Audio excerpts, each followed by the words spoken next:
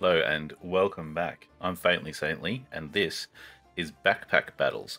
And if you're not aware of this game, uh, there's been a free demo out in the market for, for a little while, while they were testing things out, and now it's finally being released into early access.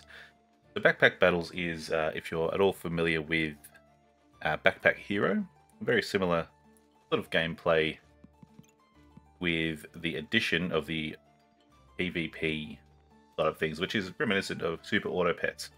Imagine you combine those two games and this is what you get. Basically with this release, we've got some new classes, and some of these are a bit... Uh, there are some interesting design choices in this game. Um, I was going through before and just checking out all the different, uh, basically, wardrobe options. I believe the chibi option was like from an original release, and I think they've probably changed that for a good, good reason. Um, but the new characters are the Berserker class and the Pyromancer class, in addition to the Ranger and Reaper, which were available in the demo. And these all have different starting sort of uh, backpacks and items. But today I think we'll try the Pyromancer. I've played a quick game with the Pyromancer and uh, I thought it was pretty fun. So I thought we'll try again. We'll try a ranked game.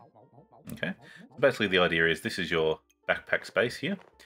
You buy items, you stock them into your backpack, and uh, basically then you go into a battle with another person and uh, their backpack and see how you stack up. So a lump of coal combines with the fire. Also, this backpack is a fire pit, and uh, every time I enter a shop, it spends one gold to generate a flame. And at the start of battle, I get five maximum health for every fire item inside. As you can see, there's two here. These will, uh, if it's next to that coal, that little blue line, that'll actually interact with the coal and turn into a burning coal next turn, which is a benefit to me. Um, and we can buy some other things as well. You can buy a banana, which heals me and generates some stamina. Could buy another sword, if I really wanted to. Um, or you can re-roll. I've got 11 gold, so I might just do that. Okay, so I'm going to buy another fire, because more fire in here is better for me. I'm wondering if it's worth getting a shield, get a frying pan. I'll just roll one more time. Okay, another backpack is useful. And I want another sword. Maybe just to um, get some damage happening. But we'll start this battle and see what we're up against. Okay, up against a ranger here. There's a frying pan, stone, a lucky clover, and a broom. We're running out of stamina here. Who's going to get this last hit in? That was pretty clumsy, but a win is a win. As you can see, that's the auto battling element. So you just uh, all the things in your backpack interact as per their descriptions, and uh, it's just a little uh, fight to the death, basically. I'm going to... Can I sell? Yes, I can sell that sword. I'm going to buy a dagger, because the dagger doesn't use stamina. Also, the dagger interacts with two flames and will become a molten dagger. I'm also going to get a lump of coal.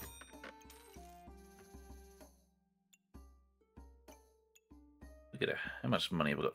Five. We'll roll once. I'm going to get another lump of coal. I'm going to get another flame. And move this sword out of here. I'm going to do that. So all these coals will get ignited. Um, actually, maybe I should do that. Have the extra fire item inside the backpack. And I might reserve this so I can buy it next turn. Let's see how this goes. They have a shovel, a fly agaric mushroom, and a customer card. They might be building towards something, but I uh, won that one pretty easily. Now we can see two flames are consumed to create the molten dagger. Oh, unfortunately, this lump of coal didn't ignite, but I'll get him next turn. And this coal, I can put it in the weapon, which gives me a chance to deal plus 6 damage and gain 1 heat. Or I can leave it in the backpack and after 5 seconds I gain 2 heat and cleans 3 debuffs. Because I've got a few coals going, I'm going to put one in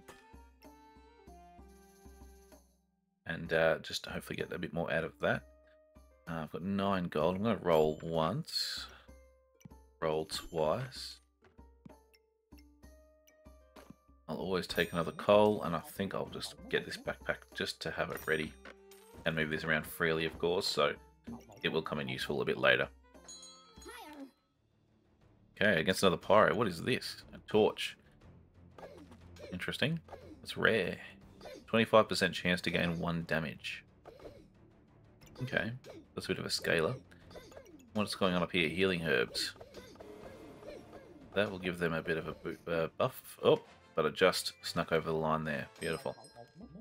Okay, frying pan. Cost 2 stamina. Deals extra damage with food in my backpack, but I don't have any of that, so I might not benefit from that. This stamina sack adds one maximum stamina, which is obviously used to attack. So I'm going to grab that one. Another fire. What are you pointing at? The Thorn Whip. There's blue trails. They mean that there's, an, there's a bit of a synergy there. So what I might do is I'll freeze this and I'll try and have a look at that next turn. I've only got four gold left here. So the question is, am I better off to put this in the sword or leave it there? I think I'll leave it there. I am going to spin that around just to get another fire thing in the center backpack and get the benefit from that. I'm just going to start the battle as it is. Up against a berserker, I believe it is. Got a big hammer, a forging hammer, and a spiked shield, so these ones could be pretty tough. I'm generating heat, and that means all items in my backpack trigger 2% faster per stack of heat. Oh, wow, that was close. One health left. But we take those when we get them. Thorn Whip. So that gains a spike, which is like a if you get hit with a spike, you do damage back to the attacker, and this does extra damage per spike. But, oh, that's a funny shape as well, so I might need to rearrange a few things to get it in. Flame Whip if I have two flames next to it,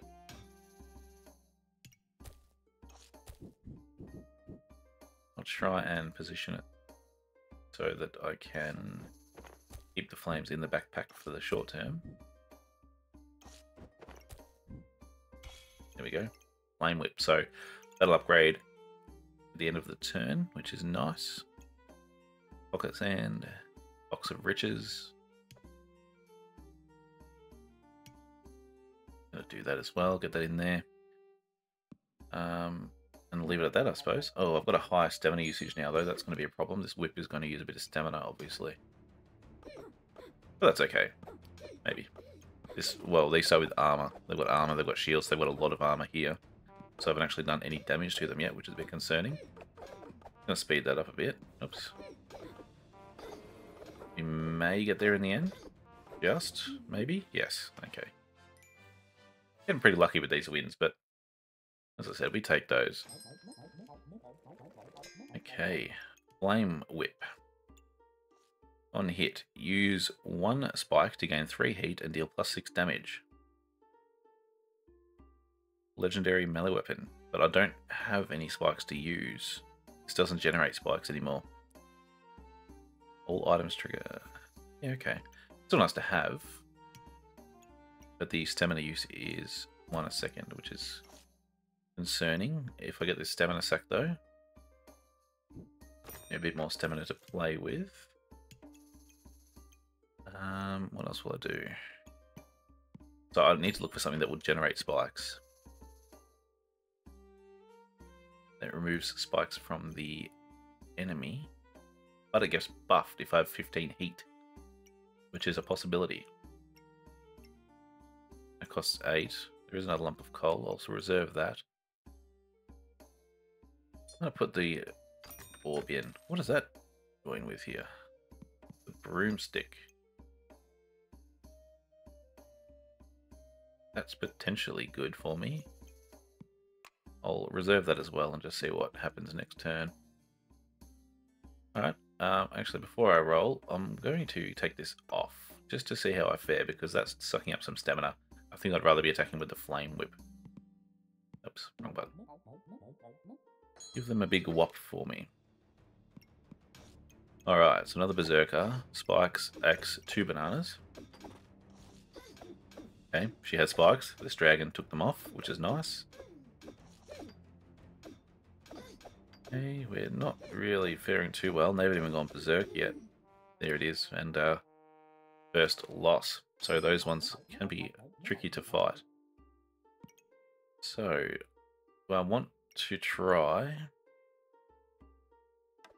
This won't fit anywhere. This takes up four rows or four slots. Um, how can I rearrange?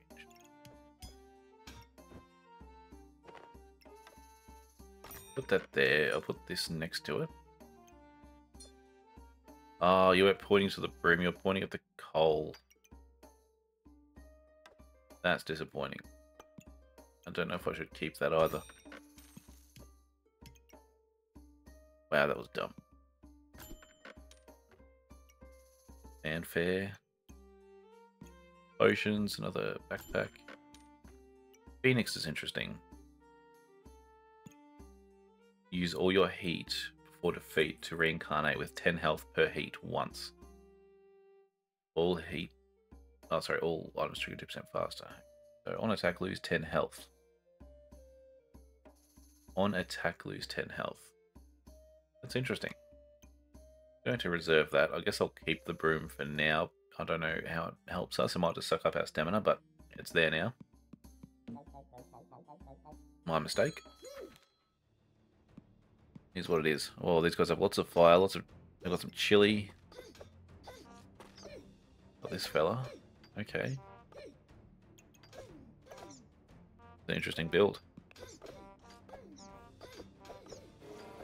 They have a clear stamina advantage, but hopefully I can now damage them. Yes.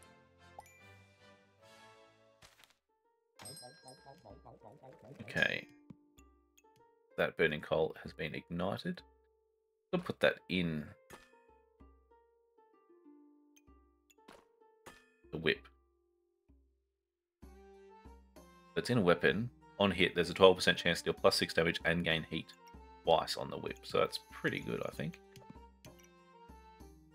Now, every 3 seconds, use 1 mana to gain 2 heat. Well, I don't get mana, so that's probably not going to help me. Cryomancer. Gain 15 defense for each ice item. 5 heat gains inflicts 2 cold. For each cold of your opponent, the diamond item, which is the item that is right above this in my backpack, has 2% extra crit chance and 2% extra critical damage. Ice items are now offered in the shop. Don't mind that. I think I'll grab it. Now, we've got two phoenixes. That's interesting. How does that work? Definitely want to sell you two. What sort of space do you take? Right. Thing as well. How am I going to wrinkle this, do we think?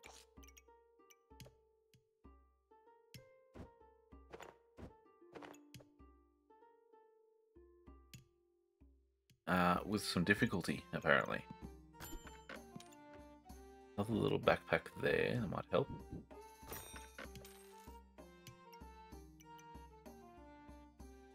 So, on attack, I lose 10 health. Before defeat, I use all my heat to reincarnate with 10 health per heat. I mean, that, that's potentially dangerous, but potentially good. Okay, and I need to fit this in somehow as well. That there, the fire, it's an ice item, so that shouldn't go in there. It should go here, maybe. Doesn't do much for us just yet, but we'll see. Phoenix is really interesting. What have they got? Poison Goobert.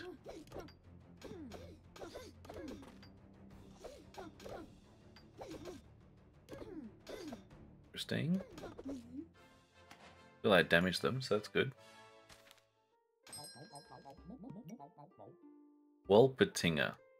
Increase base stamina re regeneration by 0.7% for each buff you have. Every 5 seconds, gain 3 of the buff you have the least of. Triggers 15% faster for each adjacent pet. This seems ridiculous.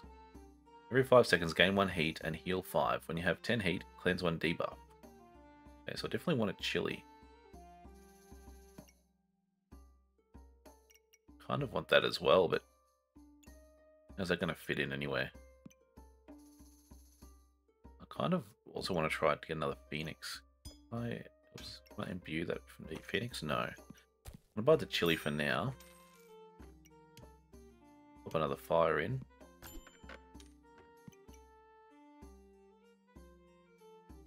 Gloves could be useful.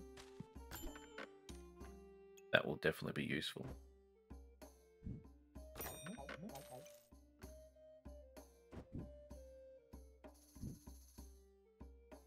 Am I going to use that? If I put that there.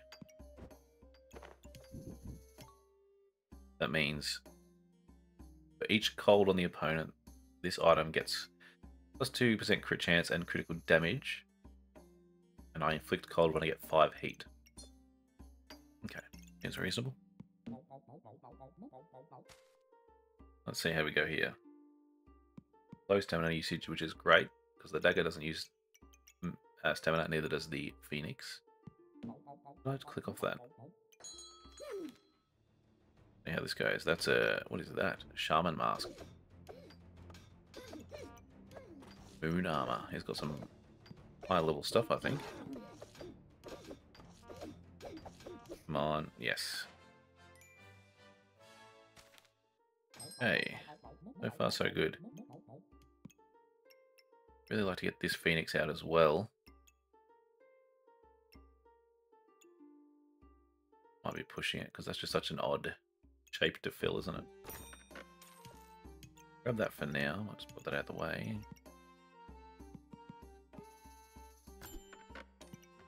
Ice armor. Start of battle gain 45 armor and inflict 4 cold. Every 5 seconds, use 1 heat to inflict 2 cold and gain 10.